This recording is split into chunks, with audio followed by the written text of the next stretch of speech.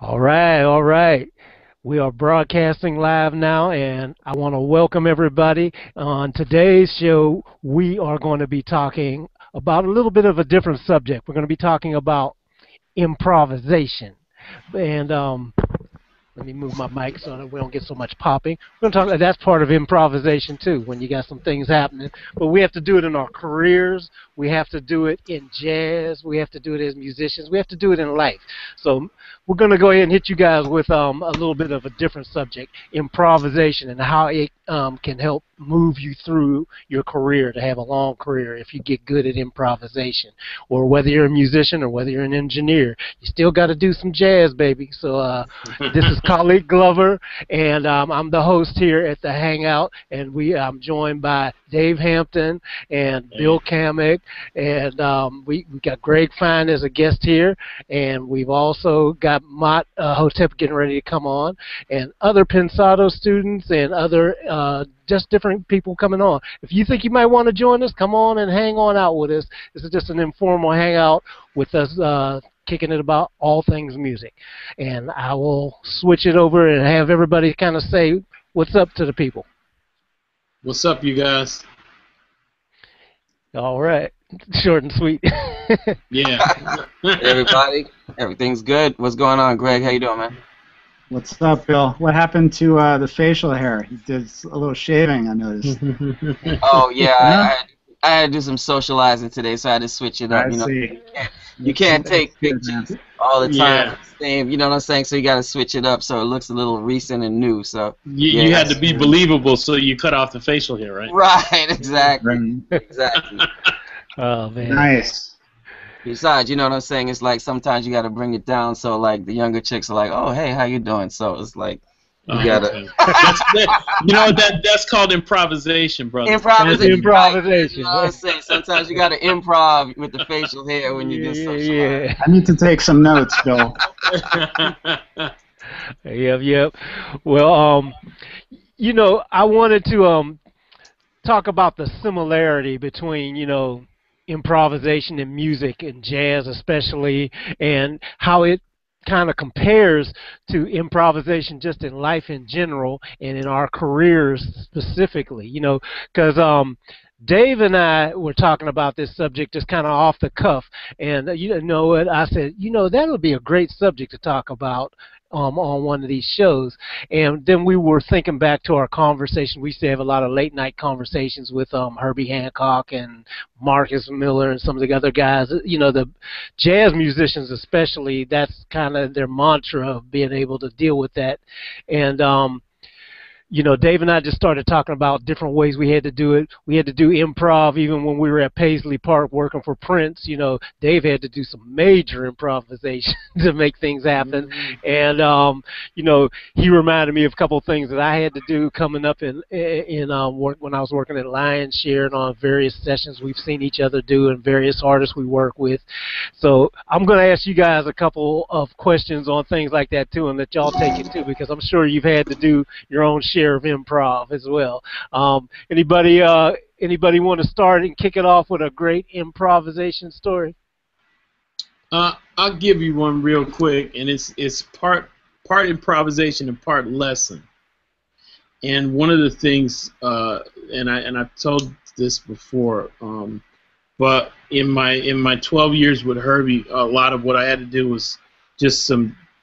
Whenever we did tours and we used electronics, we had to do things that were kind of like cutting edge. And so when we go into rehearsal, my thing was okay. Well, we're going to use laptops. Nobody was using laptops, and we're going to do whatever and do it in surround. And and I had all these backup plans. And we started rehearsal one time. and said, okay, well, we're using five new things. Among them was Logic. They were like rewriting Logic for us every other week in order to be able to do some things. And I kept This saying, okay, logic with the environment too. Right with the environment, yeah. So so this, so I'm going okay. Every we're going to start rehearsal. If this doesn't go, we're going to go to this, and, and, and this is Plan B. This is Plan C. So then he turns to me and he goes, "Hey Dave, why don't you just plan on it working?" Right? so then so, so at that point I was like because I didn't want to I didn't want to ever come up short working for him so my intensity was on being methodical and being the tech that I was, you always have a backup strat. But I understood at that point he wanted my intensity without my commitment to failure. You understand what I'm saying? So for me, it was a big lesson that he wanted me to improvise, but his way of telling me was not to say, "Hey, Dave, why don't you improvise?" It was just, "Hey, man, why don't you cut all that other stuff and take a direct route, plan on it working, and everything else is gonna be okay." And and ever since then, I've never employed my my old self of always having a plan, always having a plan. I just go, if I'm there and I'm in that capacity, it's gonna function somehow. Somehow. And I'm gonna, you know, and I'm not trying to take a. In early in my career, I would take a bunch of tools. I take, I take, you know, probably half of vans full of tools, all to to be able to have an answer right there and do it. And it's good, but after a while, you, you got to start to push yourself to, to to just get better and and be able to use your experience. Just like I was talking to Bill before we started on the call, and I said, man, how do you retain all the information on what works, what doesn't, and all these different modes? And it, you know, that's part of improv- improvising too, is that you develop a strategy on on just what to retain, what to throw away. Yep. You know, and, and how you're going to access, you know, basically how you think. And, and and it really helps, especially when you're dealing with content and music, just to be able to, to be able to do improvisation on. For me, it's on an engineering and a support level, just the same way I see the band doing it on a musical level, because it helps you get into the experience of bringing what they're doing to life when you're mixing front of house or mixing monitors or whatever. You know, so I, it was a valuable lesson for me just in how to how to place my energy, what to focus on, what was the primary thing, what was important you know, and it was being in the moment and being 100% invested in the moment, not not invested in your backup plan. You know. That's right. Yeah. well, you know, the other thing was, and he, he the plan on it working um, philosophy too, because of his Buddhist philosophy uh, philosophies on a lot of these things is Yeah. like, well, if you if you have a plan on it failing, that's most uh, that's Murphy's law and all that too. That's gonna it's going to show up. You know, so if you just plan on it working, it doesn't matter what shows up, you're going to figure out a way to get through it. And that was a valuable thing. How many times was he ready to try the newest software? He'd come in and he did us in the studio, uh, have a brand new Pro Tools system uh, installed, everything fresh, fresh code and everything, and then we got deadline or we got some kind of deadline we got to turn it in. And and when we do that it was like you just have to make it work. Doesn't matter what comes at you and everything. Okay find another way and get it happening. We got all these cats here or they they're Yeah. expecting this to be delivered. So that really is a it's a great th- thought to have and a great way to operate rather than you and I Dave we used to always Dave and I I swear in our younger days, we probably was some really in shape niggas. well, we was probably some real in shape dudes because, uh, you know, he used to help me carry all my gear, and I used to help him carry all his gear. Dave had toolboxes, rack mounts, all kinds of stuff. I had So Radio Shack in my car. Oh, brother, Yeah. I'm telling you, the whole store on every gig. So, you know, when we were uh, just helping each other do things, it became amazing because um, you had every single contingency plan. But after a Mhm. while, most of that stuff just did not get used. And what we started finding is, you know what, I just don't feel like carrying that all today. And then when we got to the gig, nine times out of ten, we made it work with what we had. What we had to make happen, happen. You know, so that's why we constantly been scaling down. You know, we got very scaled down systems now. I think uh, production-wise, we can hear from uh, Greg as far as uh, what he thinks about improvisation. Well, uh, as far as a guy like Herbie, I think that's part of the uh, jazz mentality to uh, be willing to make mistakes and to feel confident that you can take a new direction in the moment. And I think that's what differentiates a lot between jazz musicians and um, the musicians, especially classical musicians, is that the mistakes are kind of part of the music, and uh, you almost have a comfort in that uh, if you do make a mistake, you find another uh, avenue to go in. And actually, when I listen to uh, a lot of jazz music, it's kind of uh, part of what I enjoy about it because I feel like the musician is really going for uh, they're they're reaching for something, you know, and so the mistakes aren't a big deal. Um, yep.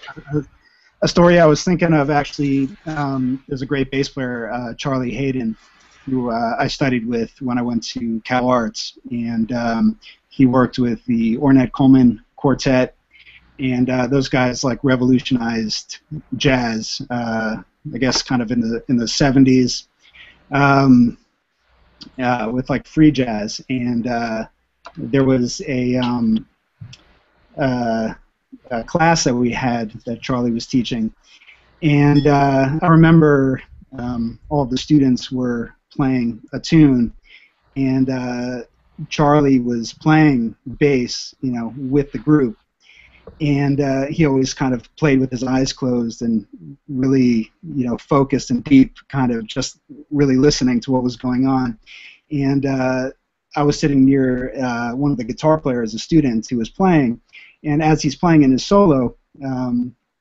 something is happening with his cable uh, to his amplifier. There's all this like crackling going on or something. All this noise starts happening. So me and uh, one of my fellow students, we tried to, uh, you know, help him and figure out what's going on, you know, technically with his with his cable. Uh, but Charlie, instead of kind of looking around and uh, you know trying to um, you know see what the problem is or stop stopping the band. Instead, he grabs his bow on the bass and starts making like whale noises. You know, he kind of like went with that mistake in the moment, you know, and made that part of the music, and that was just like a revelation to see him do that. I love that. Yeah. Yeah. so it's Yeah. funny when when you uh, you know, I just thought of that anecdote right now, but uh, that's kind of a, a lesson in itself almost. You know. Hey, Greg, uh, real quick, before we go too much farther, I want you to give yourself a proper introduction. We introduced you by name and everything, but tell us all a little bit about yourself. We got a lot of people watching and everything. I'm just now getting to meet you, and um, I would love to know more about. Um, just give us some background about yourself. Would you mind? Um, well, my company is called Hidden Tiger Music, and nowadays I mostly produce music for um, television. I do a lot of music for ads. Um, I've worked with most of the major brands out there, like Ford, Calvin Klein, Old Navy, Mercedes, um, just about every brand that you could think of almost. Cool. And uh, done stuff for television, radio, um, as well as a lot of album projects with different bands and so I've explored a lot of different genres. Um, consider myself to be pretty eclectic, but uh, I came up uh, as a jazz musician, really, as a guitarist first, and uh, I guess since high school, um, I just loved jazz and improvisation, and um, I kind of just followed that path for a long time, all through my 20s, and I went on the road a lot and performed with different musicians.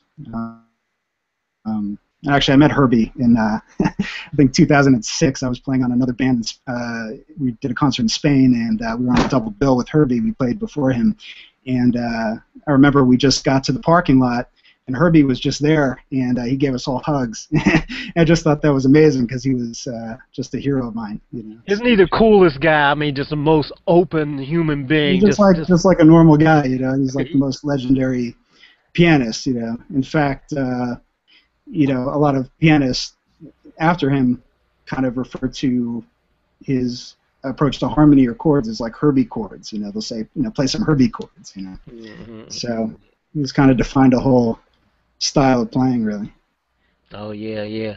And you know, um, with on this subject of improv, um, a lot of what me and Dave uh, are talking about tonight and what we learned stemmed a lot from him passing on some of the stuff that Miles passed on to him. So that whole mentality, you know, I mean, he would easily state that a whole lot of it came from Miles Davis too, right, Dave?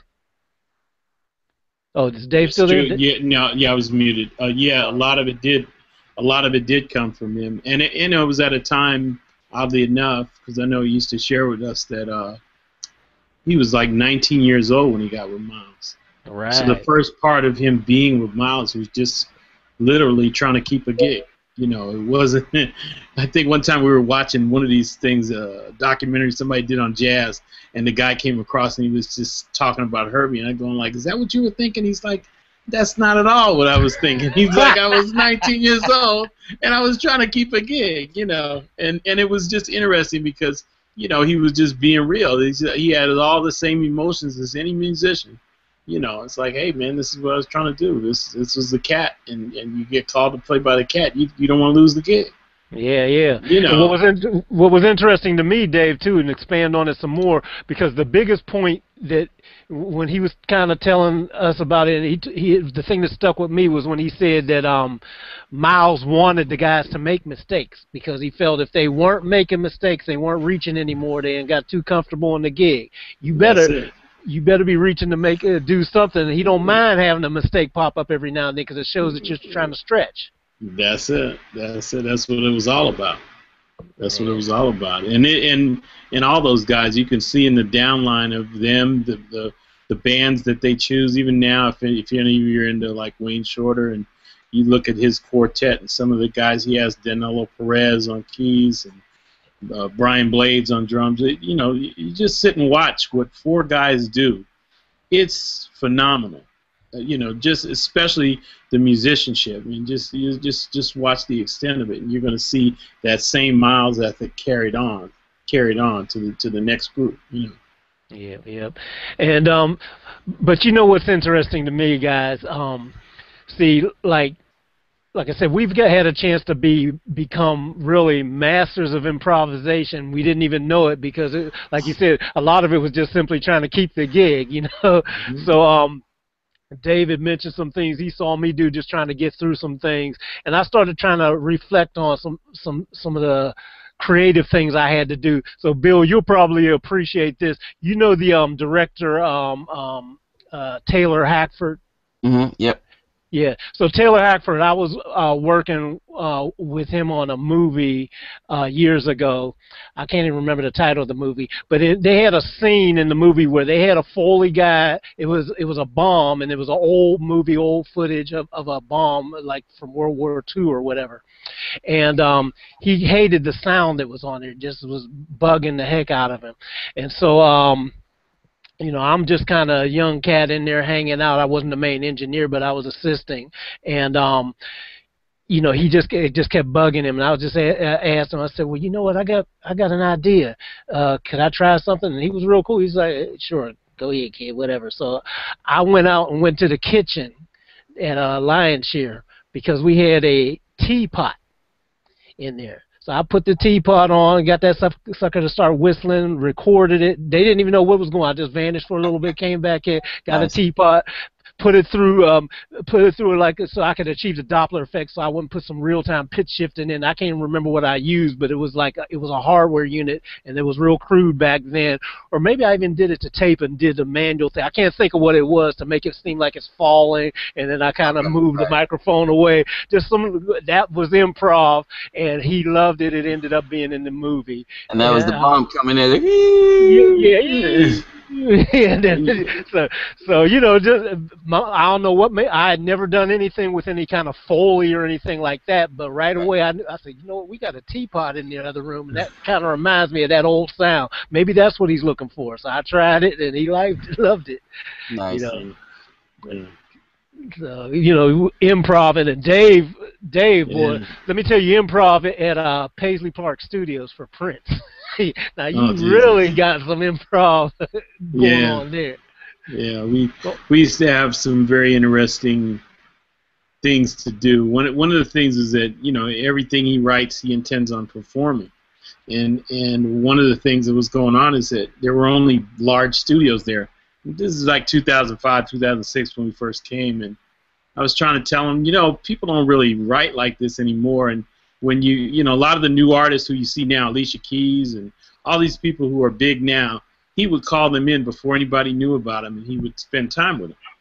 Yep. And some of them would flourish, and some of them would be intimidated because they're coming on in a time of of developing without ever being or spending great amount of time in a large format studio.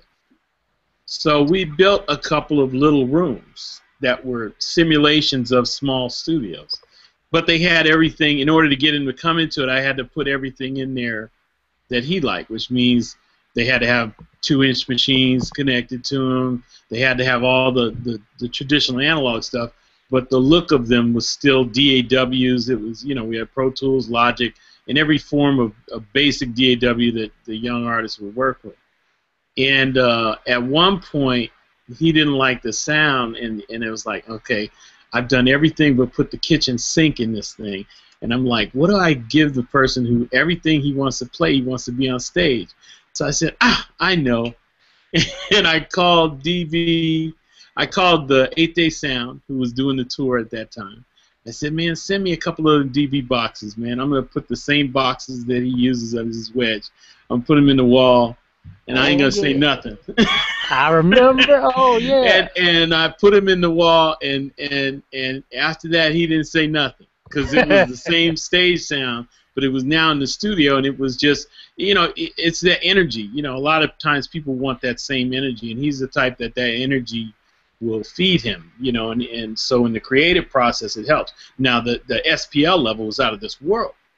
You know, because you didn't have to do anything. Those DB boxes are really, really great boxes. Super loud but really clear and, and really you know doesn't take a lot to push them. and so uh, but yeah it was just improvising all the time because we were trying to get get him to look at the DAW concept while still embracing two inch tape and that's it's a challenge it's a challenge sometimes because you have to always be able to capture the moment but you gotta also kind of respect what's going on you know you don't want to send somebody over the cliff because all they want to do is stay in analog. But you have to, at some point, embrace the DAW because the DAW gives you the speed to work. You know, Which gives you the ability to, to li- deliver multi-projects. And eventually, we were able to transition a lot of the work over to DAW. But it was, you know, it was just through trying to meet these other needs. You know. But yeah, there's a bunch of things like that. We used to get into some big, big, uh, not arguments, but you know, big discussions because he he, he wanted certain things that, you know, eh, at some point I, I used to tell the guys, man, we're we're arguing gravity right now. And and because because that's what it is, you know. This is somebody insisting, no, I can fly. I'm telling you, I can fly. You know. and you know what? If, I believed if I if I stayed there a little while longer and argued gravity side, he probably would have flown. So, but but inevitably, you know, there there there there's just some sometimes there's limits. Technically, I was just trying to make everything possible we wanted to do, but sometimes it was challenging. You know, we went through a little period where we were trying to do Jimi Hendrix type stuff. You know, and and one of the things in in talking with Jimi's engineer and in just discussing and, and doing history on, on the whole Jimmy thing and what what was happening when he cut a lot of the stuff overseas. You know, we're in the United States, so uh, there's only so much you can do to simulate 240. yeah. 240 in the U.S. is not 240 in the U.K. You know, you can get a step-up transformer, you can do it, but but it's not the same thing. Not the same thing. But you you can do a lot. But you know, so there were a lot of times we had to improvise there, and and uh, you know when that that happens, you got to do what you can do just to try and add the the electronics and make that work in your favor in order to meet what the, the artist wants to do. But you know, a lot of times that's how you that's how you get great little things that appear on records. They'll they'll do a whole bunch of stuff just like Khaliq was talking about, and it'll be just little things. You know, one of the biggest hits for uh, Herbie was uh, what is it? Uh, with the Headhunters. Um, I want to say Watermelon Man or, or, or one of the others, but um, who was it?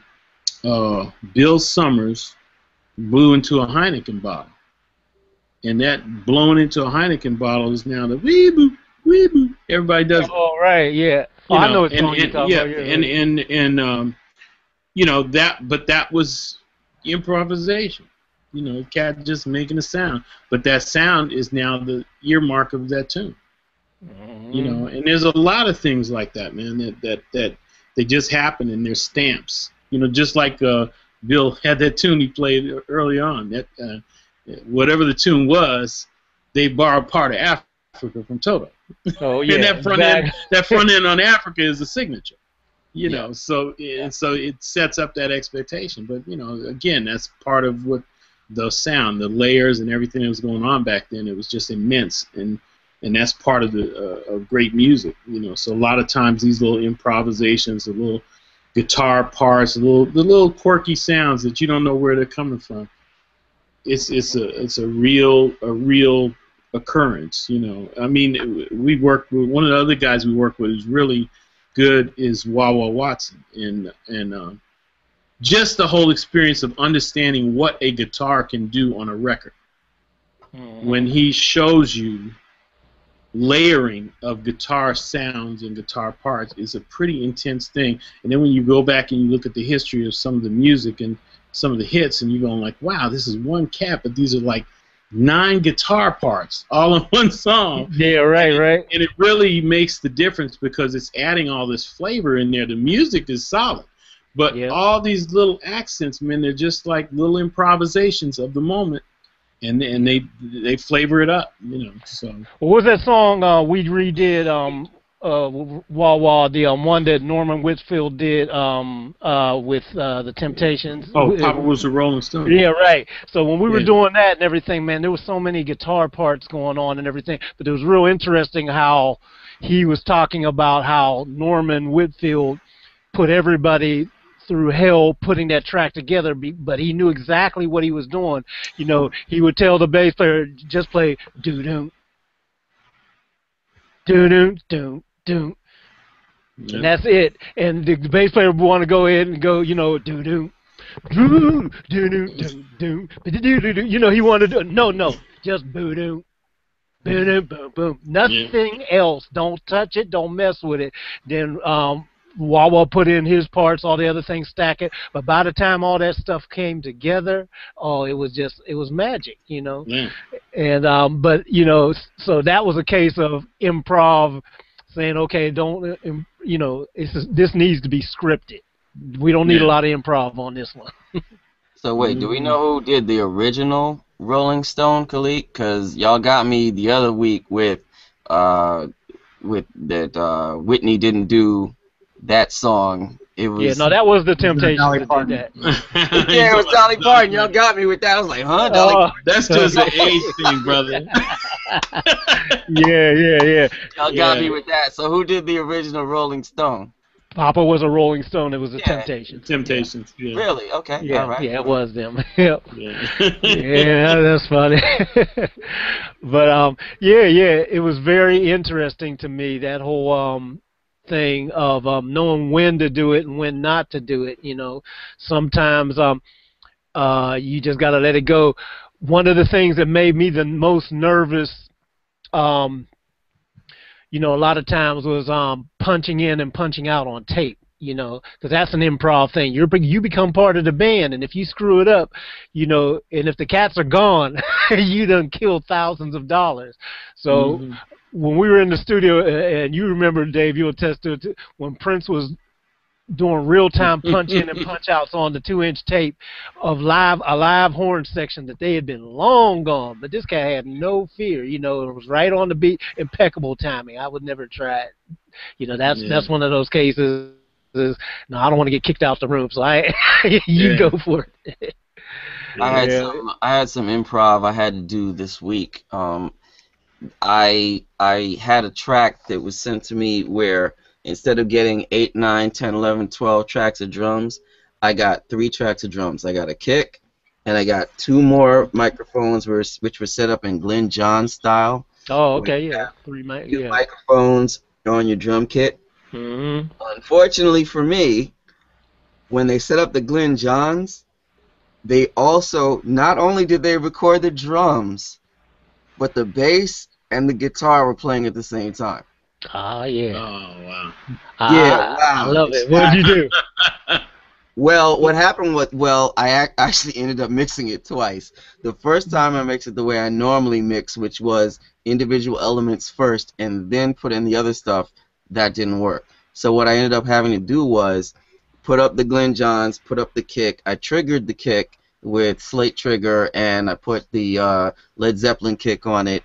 And then so I had the, the Zeppelin kick holding it down, the two uh, uh, uh, actual drum left and right. Tracks. But then what happened was I had to accentuate the guitar and the bass that was already in it with the individual tracks, hmm which is opposite from how I normally mix. I normally mix individuals first and then ambiance. Yeah. See that that was a great lesson. It's it's so great Yeah, when you get stuff like that. Yeah. Because it just it just, you just got to completely reverse your whole um uh thought process the way you normally do things. And really that's the way stuff was done. It used to be, you know, stuff was ca- captured in a couple of mics and anything else came in and filled it in. So that's a good way to reverse that approach. Any of y'all that are watching, you should just make yourself do that sometimes. It really is a good way to give you a different perspective on that. And the other thing is, is like you said, when you've got a drum kit, and I had to go through this many times when, um, you know, coming up back in the day, all it was was live stuff, you know.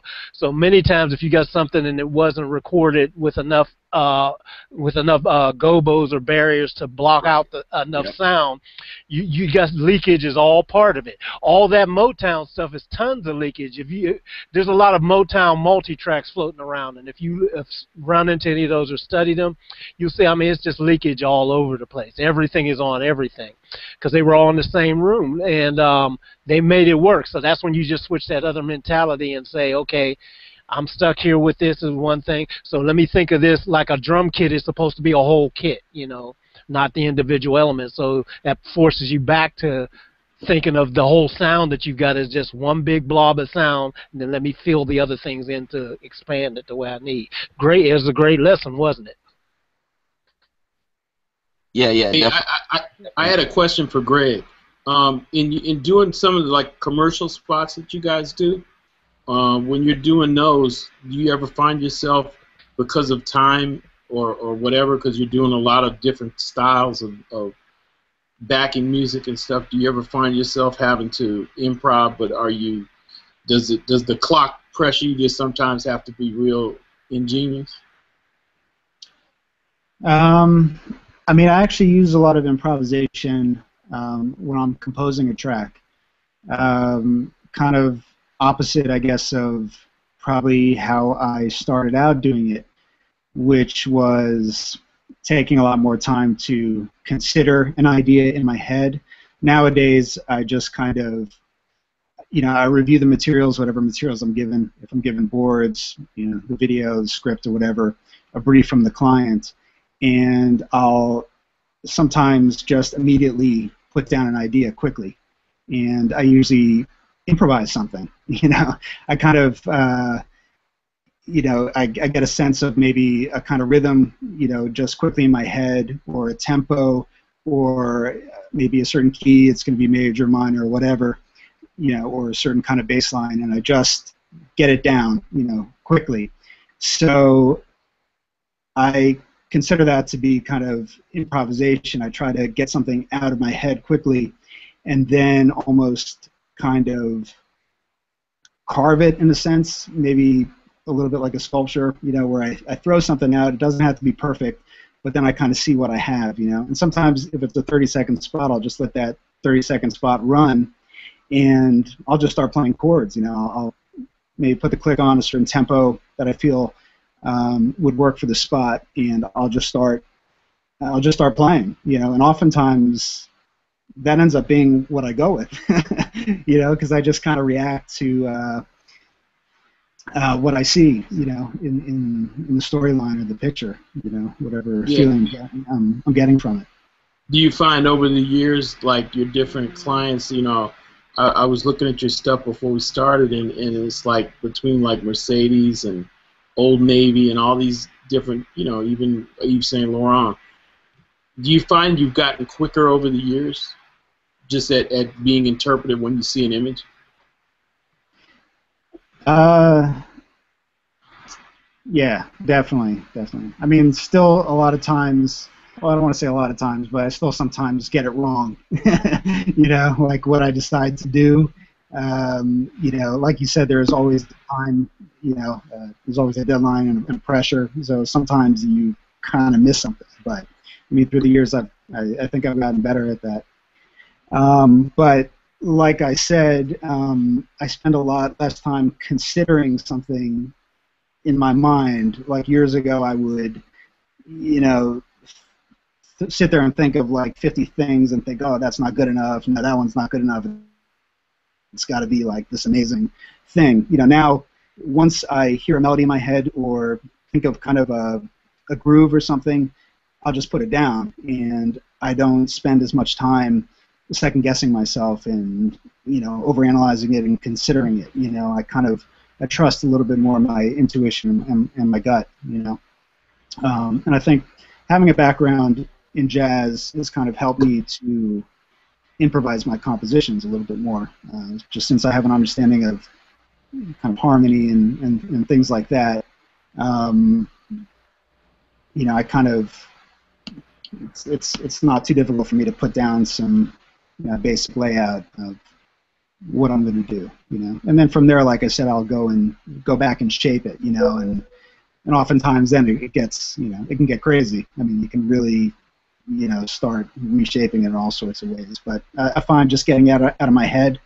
quickly really helps, you know, because you're almost giving yourself like you're almost creating like a feedback loop for yourself. Um, you know, you, you get it out of your head, and then you're able to consider it differently, rather than if it was all just contained in, in inside your head. You know, you put it out there, and you listen to it. You know, and then you you you get a sense of what's working and what's not, and what you need to do from that point. You know?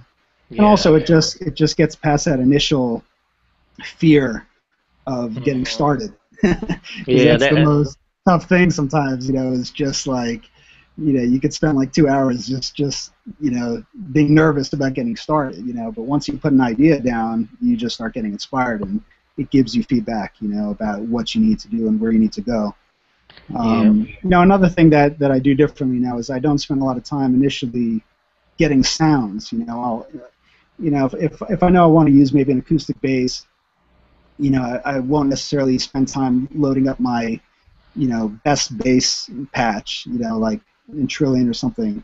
You know, I'll just get like a stock acoustic bass and, you know, just to get the parts down, just to get things out of my head, and then from there I can go back and I can, you know, really consider all the all the actual sounds and you know maybe getting uh, you know a much better sample or whatever I want to use for my sounds. You know? Yeah, that that you know that is huge, Greg.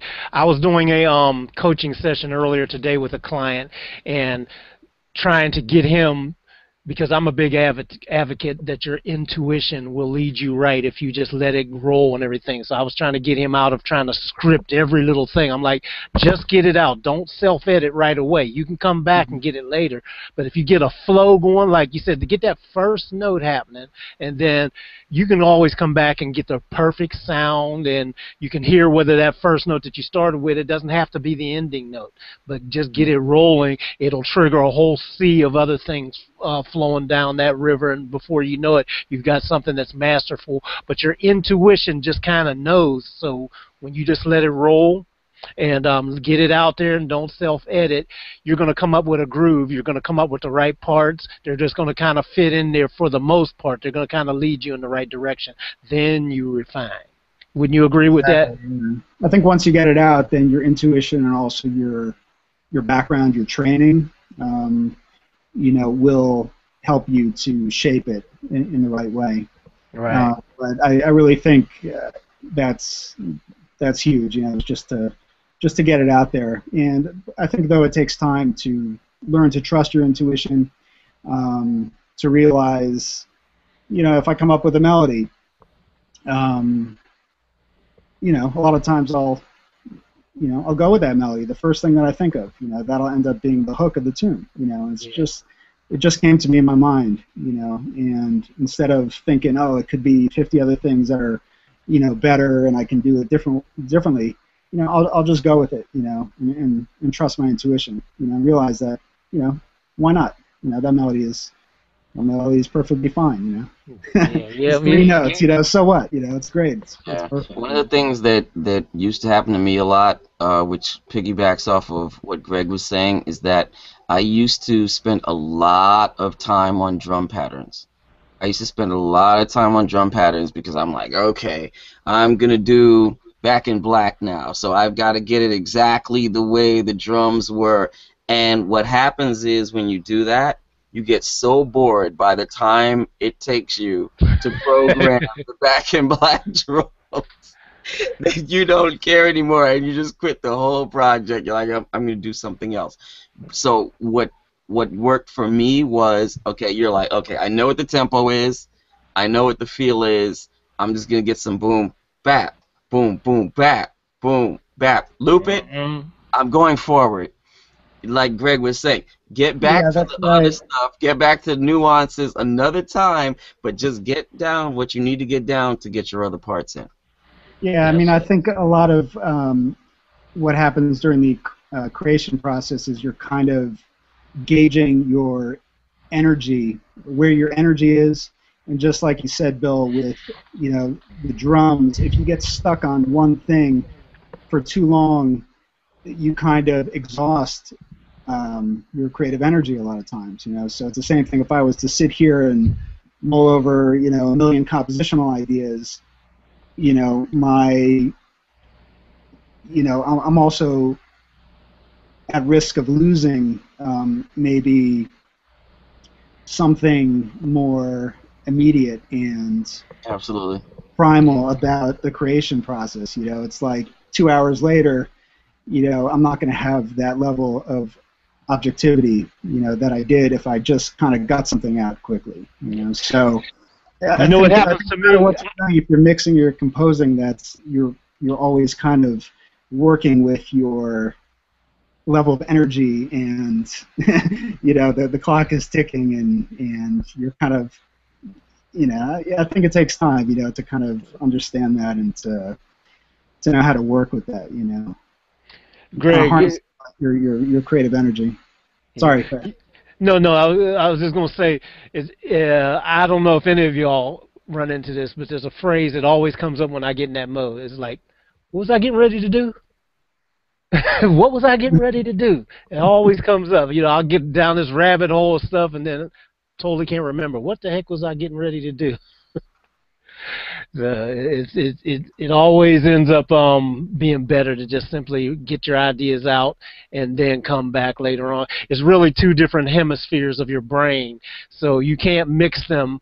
The brain does not release like that. You know, once you're in that one mode, you got to let it roll, and then the the other time, then you can come back, and that's using the other side. So they don't cross. They don't cross. right Another thing that I was thinking about as far as production and it's quasi improvising, but um, there's a Dave Grohl video where he talks about basically the hook or the chorus, and basically the the the verse is getting you to the chorus, and the chorus is what everybody is really attaching themselves to. So that's how I build. I build from chorus down. Like if I get a good chorus, then I say, okay, I'll put some filler in between there, but this is where we're going. We're really trying to get to the chorus, and this is the payoff. So that's what I do is that I'm looking at the chorus as the main thing and building backwards and almost downwards from the chorus. Like the chorus is going to be the biggest thing, the largest thing, widest, tallest, and everything else is really getting us to that. Even if you start a song where the song starts with the chorus. Did you have any opinions on that? I, I think that's exactly the way to do it. You know, I've talked about that where you start with the highest energy part of the song, and um, because that's the peak and everything. And when you get that, everything else should build towards that. And if you do that, more than likely, you know, this was something that um, I did not do at first. When I first started mixing and all that, I used to start at the beginning of the song, you know, work and start putting all the things, get a great drum sound, get all this and start putting all that.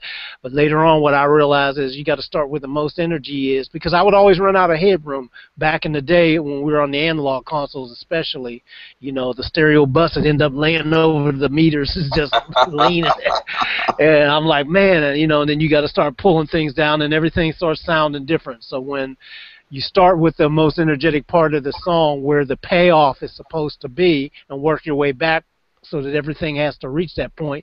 Most of the time, you'll never even overload your stereo bus. You know, that took me a minute to to figure that mm-hmm. little logical thing. Yeah, Hey, um, let me from say- a technical standpoint as well as a, uh, a musical arrangement standpoint. You know, right, right. so I wanted to say uh, one thing though. Um, we got Maad here. You being awful quiet, bro. You there? Everything good? You you working? I'm- I'm right here. Can you hear me? okay, we got you. We just wanted to be sure you're straight, man. I'm right here, y'all. All this stuff that you're saying right now is what I just went through. I went went through a little bit of hell through this today, trying to get artists to um, let go, trust me, trust them, and um, let what was in them come out. And um, y'all have spoken to me about um, how I talk to people. Uh, like I, I've- I've asked you guys how to how to pull the the um, what is it the emotion out of people and, and how to not shut them down. You know, and I sit and I watch you guys talk to these these singers, and as I watch you guys talk to them, I'm trying to pick up stuff because I do it totally different than y'all. and um, and today as I was talking to, there were two singers in there. One I had playing engineer, and um, I as I was talking to them, I was try. I- It was sort of an out of body experience because I was trying to not do what I would normally do, and I was trying to do what you guys said, and so it wasn't even me talking as I was. It was like Khaliq, you're talking for me, and I'm sitting here like trying to be Khaliqish, you know, and and try to trying to talk. That, even like- that's not you, bro. Don't do that. Don't yeah, do that. yeah. that. Don't do that. That ain't gonna work. I'm here to tell I was trying. no, I, no. I was. You know the, I- the key, the key man. Now let me tell you. First of all, most people don't even know this. I changed my name to Khaliq, you know, because my my birth name was Frank after my father. So and I lived up to that early on in my life. I, I lived up to that early in my life. you know, I'm very I tell them, just go straight.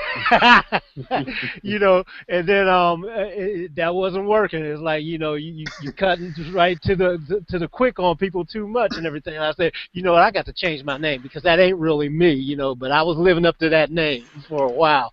So you you you go straight to you got the warriors uh, mentality and attitude. You're you're a boss. You're trying to get and gain the control. But the Yes. one thing that uh, um, great leaders do is they understand the people.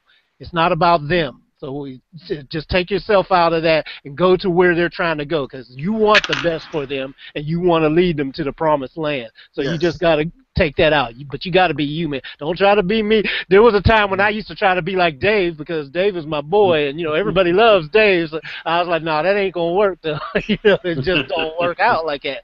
Dave is I- I one hear and only original. I'm, yeah, I'm, yeah. You, you end up being a combination of a lot of different people. I'm a Yeah. combination of a lot of people who gave me sh- shots and chances and little things I pulled off of or and improvised. You improvise who you are, and and you know. So I'm a little bit of Herbie. I'm a little bit of every Mhm. client I've ever worked with and had a relationship with. I pull little things from them because I see it work for them, not only as artists but navigating the industry. Mhm. And so you really you take those lessons. I mean, man, one one valuable lesson I learned from Herbie, and I learned a whole lot as you can tell because we talk about him a lot. I learned how powerful one word is, and that one word is unacceptable. And Great. I I had never seen anybody in an international setting just say one word and everything be straightened out. yeah. And I was like, man, that is so cool. Mm-hmm. Just that one word. He wasn't kicking and screaming, He wasn't making a big deal about, nah, that's unacceptable. And it just kept moving on. Like, wow, that's cool. You know, it, it just I'm, taught I'm me something trying. because you know I'm from another side of town, and, and we didn't have time to think up a word like unacceptable. We'd be like, "Yo, motherfucker, that shit ain't right," you know. Right. But sometimes. We yeah, sometimes that English doesn't work, and you need a higher level word, you know. And so I, I, I think a lot of that you're you're a combination, and, and I've told you this before, uh, Matt. You you are. Uh, part of who, who you are is what you've done in your life. You know, you've got military background, So there is part of you that is going to address things in that fashion. Right. And so you got to make it work for you now that you're on the other side. You know, you you Right. you're still on a mission, just a different goal, just different I'm goal. trying to have you y'all know. rub off on me. I'm trying. well, not not only rub off, but I think just you know, uh, like the old man used to say, moderation, son, moderation. That's what's You up. know. yeah, you know, You don't dim your shine. You know. Right, right. I, I, I had success. I had success with the singer, but as I was doing it, I'm telling you, it was an out of body experience because that was not me, and the words were coming out of my mouth, and I was trying to have them be pleasing when I'm really wanting to choke somebody. The, the, the singer, the singer was more than capable. The, the, the singer is extremely talented. There's there's no pitch issues, um, and the singer can sit there and write a whole song all by herself. It just needs editing. And so, but I wanted her to approach it from a total different standpoint. Because if I get in there with you guys and you guys say, okay, we're going to come at it from this angle, she, which is different from what she does, she cannot sit there and say, well, that's not how I do it. No, no, no, no, no, no, no, no, no, no. I'm not putting you in front of these. You, I'm not going to put her in front of you guys and have her start coming up with excuses. So I told her, here's your situation. You have to deal with it. You've got the talent. Go. And she just froze. And, I, and it, it took an hour and a half for her to come up with a simple melody and be secure with it. And then when we laid it, when we got it all done, it was it, it's wonderful. And she's sitting there, but well, I wouldn't have did this. I said that's exactly the point. You wouldn't have done this. It's I'm getting you out of your box, having you do something totally different, and it's still you.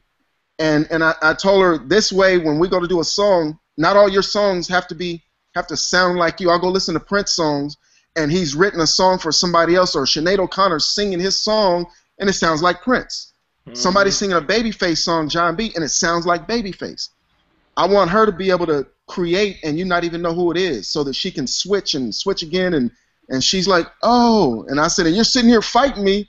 I'm giving you greatness, and you're fighting me. And I, and I told her, I said, I, I- I can't sit here and fight you and keep calm. And, and I started winding up, and I just thought about Khaliq and how, how you do your mm-hmm. stuff, and I was like, okay, calm down.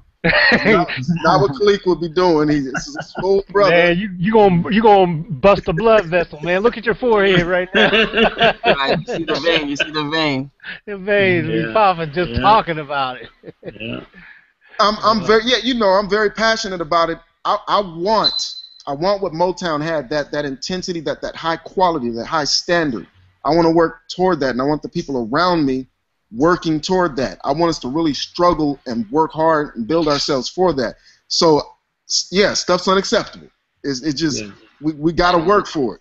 And what's what's funny is I'm exactly the opposite. That uh, I, I I recognize that you can't get a certain intensity into a track unless the singer gives you that intensity, but you can pitch shift it all you want, and you can time shift it all you want. I love pitch shifting and time shifting. I don't care. Just give me the action. Give me the rah rah rah, and I will put it where it's supposed to be. Don't worry about all that. So I'm totally opposite from him in that. I don't care about any perfect performances, none of that. Just give me the action and I will place it where it's supposed to be because that's where the technology is today. Yeah, What- but see, that's the evolution. Uh, that's evolution and and um, improvisation mixing together in your two styles. Right. What, what right. he's just described, what he's just described, and what you just described about yourself. That's evolution meeting automation. Okay, and and you're going to have somebody in in the number line. You're going to have uh, all kinds of different things that people arrive at, and and that's what you have. One is going to love plugins and say, okay, it's it's it's the plug-in life for me, and and and and, and I can make all that happen. And the other one's going to say, no, I need the natural nuances that are found in in in the uh, acoustic performance. So, you know, I think that that and that's part of where we're at right now with, you know, the the whole approach to engineering. There there is no wrong answer. There there's what's right for each situation. You know, and and you know, uh, Greg, you look like he has something to say, especially because, you know, you're coming from doing all these disciplines. You guys should go to his site and take a look at the different. Oh yeah, I saw it say you got yeah, all the different clients. I mean, that's that that that's a that's a whole nother thing right there. Being able to handle all those lanes at once. Yep. Um, let me say something real quick though, because um, what I think we all want to do, the message that I know that I like to perpetuate now, and um, we talk to some of our engineer peers and producers and things like that, the thing that everybody has to realize is we've got all these tools and everything, and use them. I'm all for all that, but let's always remember that it's about the music first. You know, it's about the final thing. So I'm I'm I'm I'm you know I'm not against using the technology bill or anything to to get things and improve it, but at the same time I'm not against um, calling somebody out on when they're slacking to Absolutely. say push yourself. You know, Yep. push yourself. You can do better than that. You know, yeah, I could. F- f- make something kind of acceptable on all, on my end and everything, but th- that's shortchanging you, and I want the best for you go ahead and do that because I'm gonna cry, uh, call bullshit on you that you're you're slacking. You know, and a lot of people don't like to hear it, but they always thank you when you push them to that little extra, even though you could make their life easier. You know, don't make it easier necessarily when you know you got somebody that's got some talent, and all they need to do is because what it does is they train themselves to be lazy, and that's where we're trying to make our music elevate in general. This music industry is people have gotten lazy and they don't have to fight for things like like we used to have to fight. That's why this subject is improvisation because we had to fight to get all these little things together. You know, uh, I, in, in a moment I'm gonna um, I want us to start rattling off a list of improvisation. You know, I'll start it off with a couple of things I want to talk about. One of the things that was improvisation we used to um, fly vocals, for example, background vocals with tape.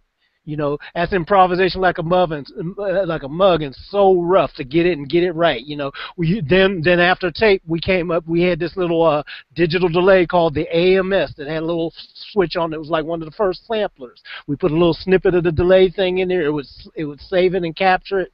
And Roland and a couple other ones did it too, and then we use that to manually fly stuff in improvisation. I told you about the teapot. Um, uh, reamping and things like that, or improvisation when you don't quite have something, so you run it back out and run it through the speakers and re-record it and everything. Um, another improvis- improvisation, like um, one thing I do, I, I so on some drum live drum things, I would use a thing, the thing that uh, was called the sub kick you know. But I never owned a sub kick, so if it was, wasn't available and I figured I needed it, I had to do some improvisation. So I'd make a sub kick. I'd find me a little speaker or get an NS10 or whatever and wire it like a microphone, and then that's improvisation to get the the result that I want. So I named five things right there. Uh, anybody else want to add to that list? Greg does. Well, I don't know. I don't know if this would, uh, you know, be along exactly those lines, but uh, a couple pieces I did recently, I, um, I, I guess I must have made some mistakes, you know, on the on the keyboard, on the computer keyboard or something. I hit some things wrong, and it actually produced cool results. Um, you know, I, I use Logic, and you know, I think in those pieces, those mistakes actually ended up being like the hooks of the last couple things I did. And uh, I think like part of the thing is that um, once you start paying attention to it and be willing to accept that, um, then you start to notice those things. You know, like um, in the past I might have thrown those things out because I said, "Oh, uh, that wasn't intentional." You know, I, I made a mistake doing that. Um, but actually, I, I, don't, I don't know why. Like I said, it's weird. I think maybe just because my mind was open to it, that I was willing to accept it, that I actually heard what I did. You know, I hit, I hit like the wrong key command or something, and something happened where you know a piece of audio moved or something, and you know I played it back and I was like, that's actually really good. You know, and I went with it, and you know I probably I used that in like five sections of the piece. You know, it became great. So. Um, I don't know if that's along the same lines, but yeah, uh, yeah, no, that's that's kind of exactly. No, it is. you know, where you're just flexible and willing to, uh, you know, go with what's going on in the moment. You know. Yeah, yeah. We did a thing on one of our previous um, hangouts too, where we did some improv. You know, because the guys, uh, Mott had brought a group on there, and they were playing their thing, and they had some vocals going on. But uh, you know, things could have been elevated to another level. So we all just came in and did the improvisation of reversing the vocal and just listening for ideas.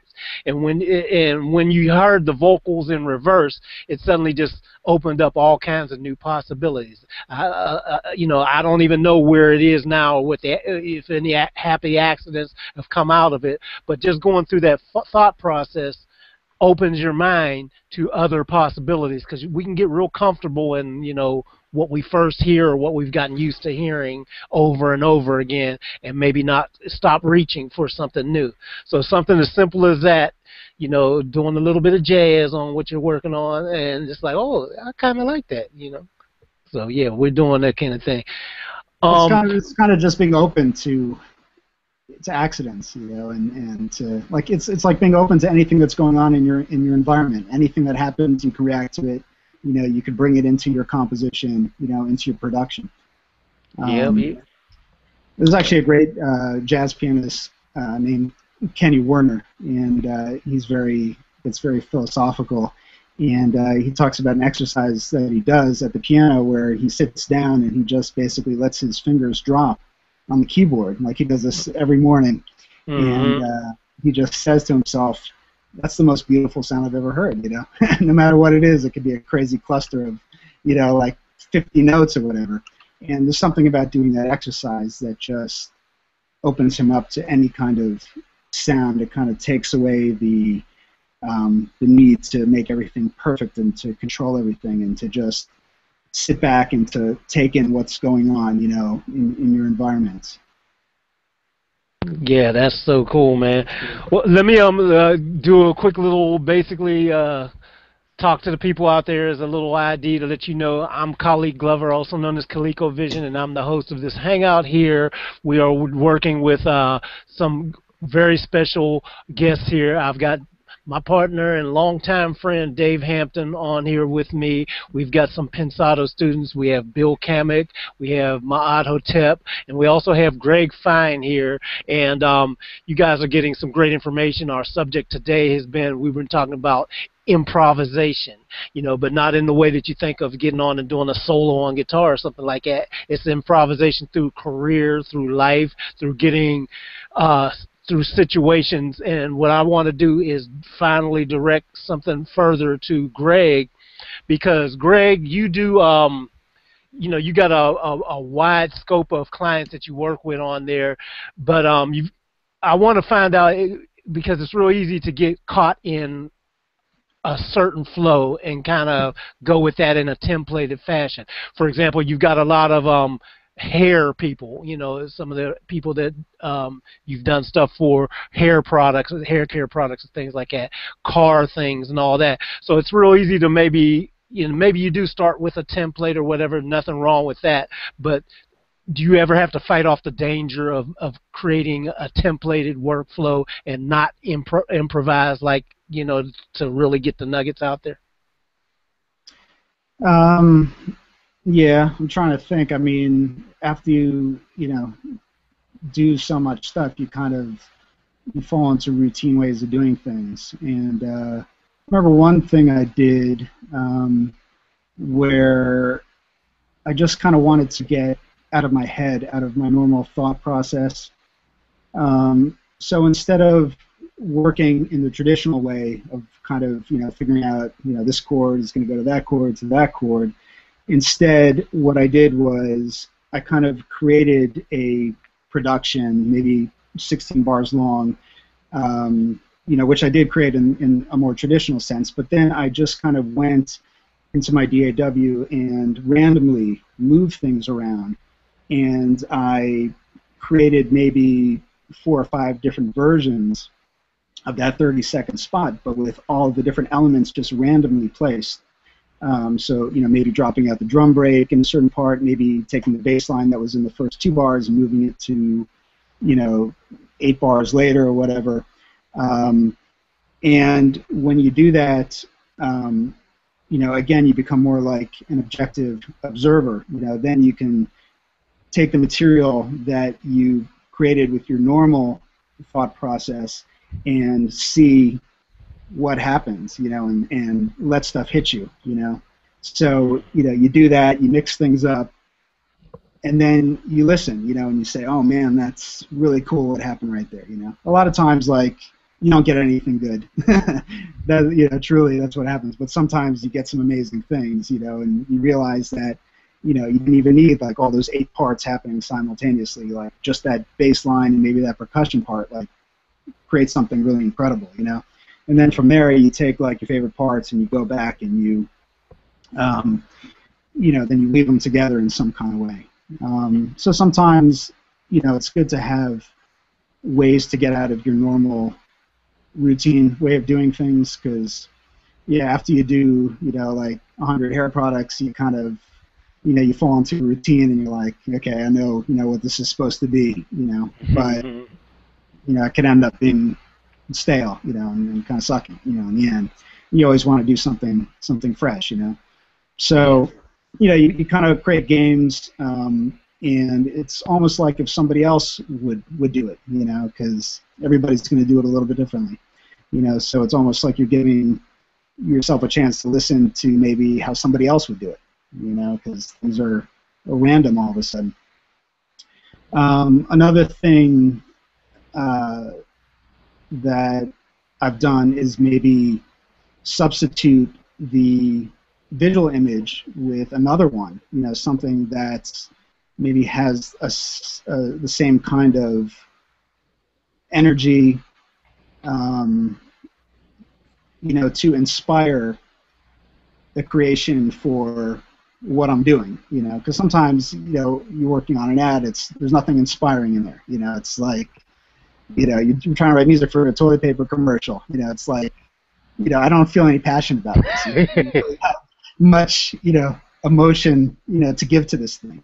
So you didn't get inspired by toilet paper, man.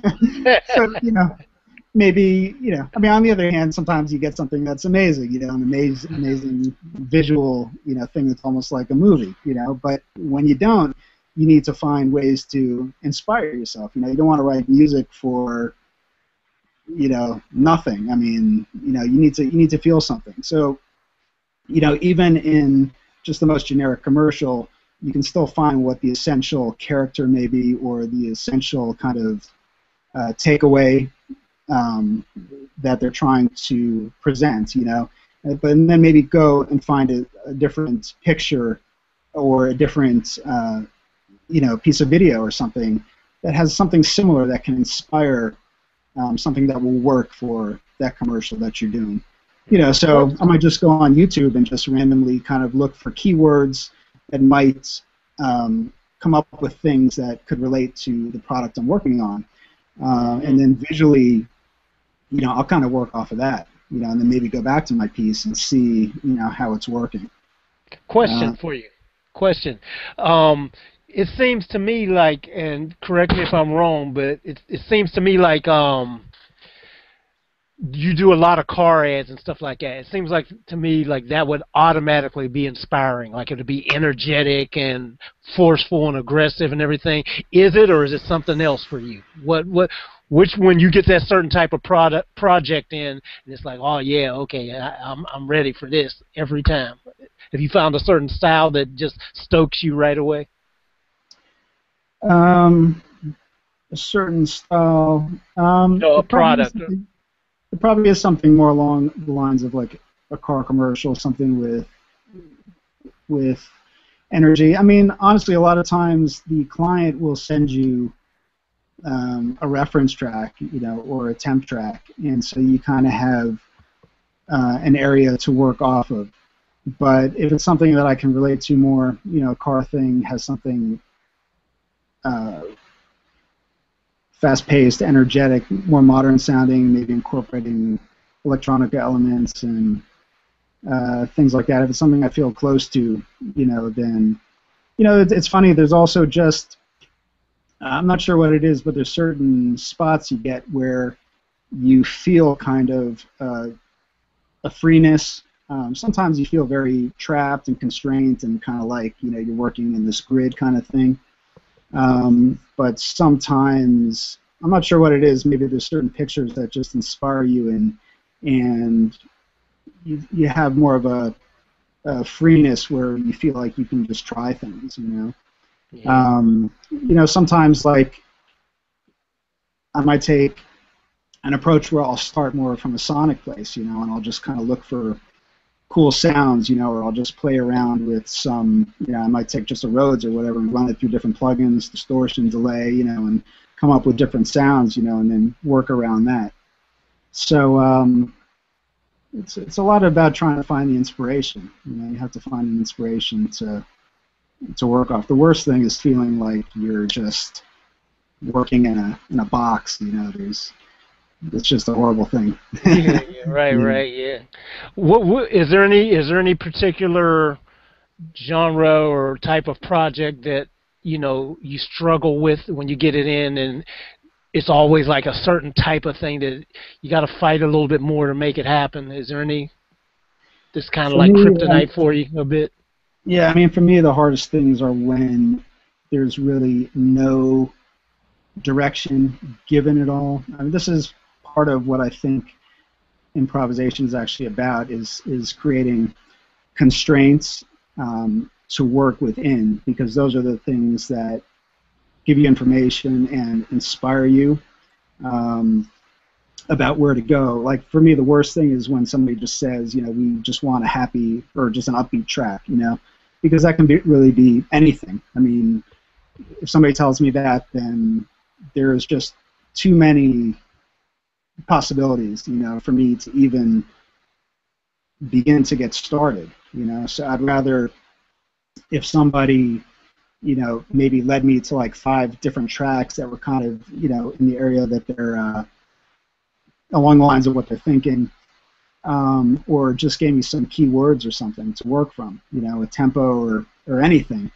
Um, so it's when things are too open-ended is when I tend to get stuck. I think a lot of composers are like that, you know. So, yeah, the more kind of um, almost limitations that I have to work with, almost the more I can I can thrive. I think. Mm-hmm. Um, another thing is like on those hair products, like you said, like typically when you're doing hair products, there's a lot of uh, visual kind of cuts, starts, and stops. Mm-hmm. But um, sometimes it can be difficult to get the underlying track um, to work with all of those starts and stops and cuts. You know, like with the hair products, there's the woman spinning around and they want to show the hair, and you, you, are doing sound effect type things, and um, mm-hmm. um, you know, all, all the while that you're trying to get a track to flow through that, and uh, that can be really challenging. You know because sometimes really like in a 30 second spot you know that might be 16 bars you know? And with all the cuts i mean you only might have really a couple bars to establish a groove or something. Yeah. It's over before you know it. Yeah. um um so and you're mainly a guitar player right? Is that what mainly you said? guitar player yeah. I mean i play keyboard and bass and percussion and different things in the studio. Um, but as far as like professionally i've you know it's it's been guitar you start most things on guitar, or or or does it just change according to your feel? Um, yeah, it changes always. You know, sometimes um, you know I could just pick up the bass and uh, just start playing a bass line. It's whatever I kind of feel is leading the uh, inspiration. You know, it could just be a drum part that I just kind of knock out quickly on the keyboard, just to kind of get like a pulse or a, uh, a kind of uh, subdivision going mm-hmm. to establish the groove. Uh, sometimes it can be guitar, sometimes it can be keyboard. You know, I just kind of see where the inspiration is, you know, for the for the track. So it's different every time. Cool, cool. Well, hey, Greg, thank you so much, man, for um, coming on with us and everything. And guys, what I want to do now, because we're getting close to our time here, I want to wrap it up with um, any final words of wisdom about this whole concept of improv. Anything that you can give to people to help. Um, I threw some things out earlier, but I'm gonna try to think of some things. So if anybody has like one good nugget that'll help you move forward in improvising, go ahead and do it now. Pitch it out there now, so it'll help folks. Anybody, go ahead and start it off. My. Uh, well, go ahead. Do you think? Um, I, I just got one, and it's just a definition of improvisation. And it just says it's a state of being and creating action without pre planning. So just, you know, try and keep that in mind. You know. Uh-huh. just as as an individual and with other people as well. Yeah. Bill? I think, I think it's important to remember that uh, improvisation is part of production, and the non-improvised part is the mixing and the quality control. So it's like when you're thinking up stuff to do, improvise, go for it. It's all digital at this point. We're not even using tape.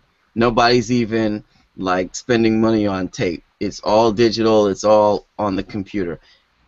Do as many takes as you want. Do everything you want to do with it.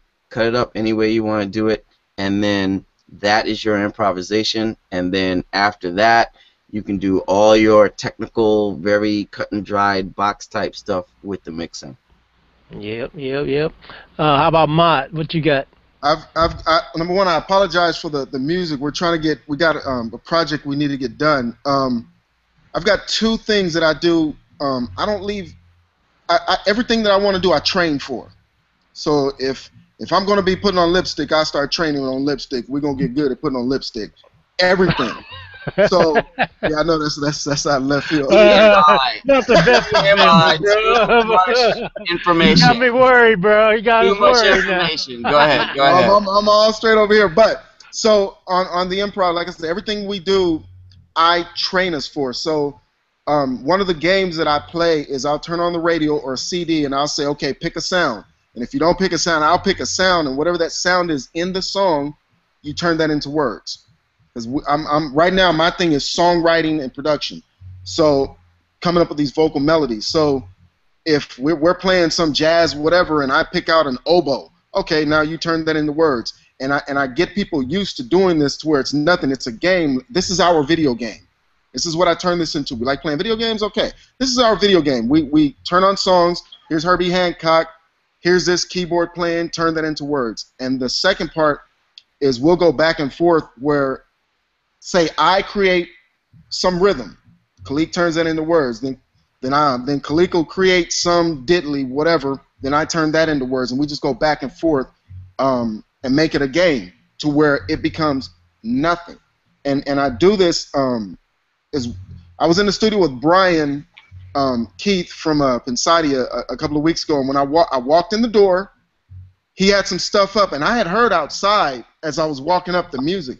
By the time I walked in the door, I had a melody. I said, "Hey, give me, give me, um, give me a track real quick." And I went in there and, and I started to lay the vocal. And as I walked in to the booth, Brian, no, Freeman, FL Freeman said, "Wait, wait, wait, wait, wait. The singer has a melody. We, we, we got to make sure that she gets that down." I was like, "Bruh, that's my singer. We got this. She can come up with a million melodies. It's nothing." The singer was all relaxed. It was Anna Ram. She was relaxed. Freeman was freaking out because we might lose a melody. Hey, we do. th- I'm like, dog. We do this all the time. We practice this. So mm-hmm. for us, we practice this so that we don't, you know, we get good at doing this stuff. And so that's mine right there. That's Here's what's one of up. our. Oh, speaking of which, speaking of which, real quick, Khaliq. Oh, good. Remember I said that we were we were gathering singers and we, we had Uh-huh. this that, that our guys have to put up or shut up, like show progress on what you and Dave have been showing us and telling us or whatever. Right. So we, we started out with 10 singers. We, we got them in, picked 10 singers, got down to nine singers, you know, and then we even got rid of three, and then, you know, brought them back. Okay, all right, y'all get another chance, right? One of them just walked in. I have no idea what she's here for, but she's here, and, and you know part of it is showing up, right? That's the big part. Showing up, and she just showed up. Hey, hey, hey, hey. Hey, You showed up. That's huge. You get major she points who? for that. That's who is that? She who? Christy. Hey, Christy. Christy Hi. who?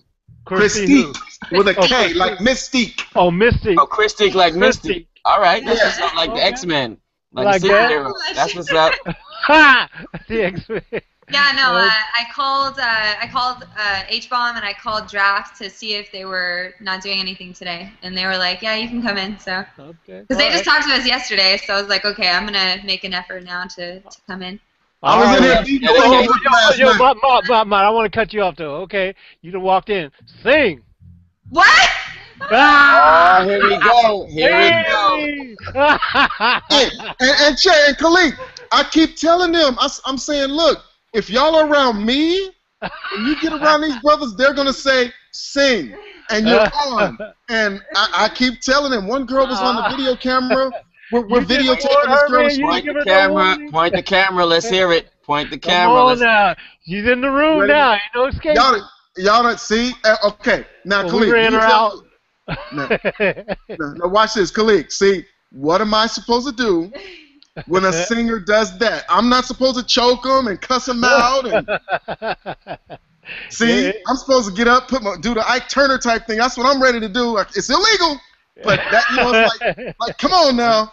Point um, the camera. Point the camera. Let's hear it. Let's hear it. Point the camera. What am I supposed to? Do? I don't know. You can run if you want to. Anything. Anything. Well, they can't oh. see me. I've never heard her sing. I have no idea. I have no actually, clue. Yeah, he has never heard sing, me sing. Sing three blind mice. Three blind oh. mice. Anything. All I've ever known, I know she's a model. I know she's a model, so I'm finna find out just like y'all. All right, sing and pose. Sing and pose. Sing and pose. Be still now, don't cry. Sleep as you're rocked by the stream. Sleep and remember my last lullaby. So I'll be with you when you dream. Got a pretty voice. Got a pretty voice. Yeah. yeah. yeah, yeah, yeah. I'll be down. I, I, didn't know, y'all. yeah, we're tough here. That that's the that's called the acid test right there. You know, you sang. You know, this you'd be surprised how many people. Someone's been like sing, and I'm like ah, like it's tough for me. I'm not used to being on the spot like that. It's the first time I've actually done it though. So thank you. Guys. Okay, well you're model that's now. Good. Pose. Your model pose. See, she did that. She didn't See? hesitate on that. See, that's when we got to get to singing to. It's like, yeah, damn. but that's cool. You did it though. You got the yeah. mad props for that. Thank you. Good. Very nice. Sounded good. Sounded good. Thank you. All I'll be damned. Uh, I think H bomb brought her in, bro. I'm I'm not knowing. I'm I'm like, okay, here we go. All right. But I, I keep telling them this is what it is. This is what it's going to be and they keep getting shocked when it happens. And I'm sitting there like, I told you this is what it was, you know. so, but anyway, yeah, I'll be working with her, uh, getting her to where she can improv. Some like I'm I'm wanting to bring these singers out when you guys are at SAE or whatever. Like when you throw your your seminars, I'm wanting to bring them out and have them, you know, get to meet y'all face to face. Y'all can run them in through the ringer, choke them, whatever y'all want to do. Um, introduce yourselves to them. Um, but yeah, so far I think I think we still have eight. You know, I, I think we.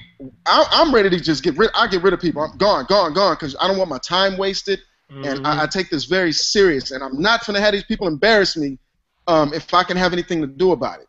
I so, got you. Yeah, yeah, I feel you. That's what's up. We haven't we haven't had any closing statements from Greg. Greg, go ahead, brother.